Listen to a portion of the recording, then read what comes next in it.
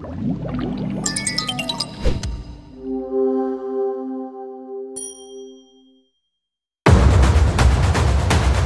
underground, ancient guardians awaken.